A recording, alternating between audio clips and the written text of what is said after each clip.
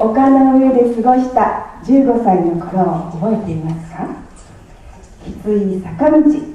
みんなで過ごした教室。勉強。先生たち。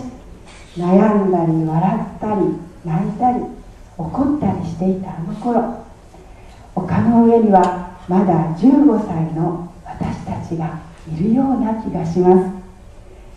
丘の上に届くように大きい声で歌いましょう。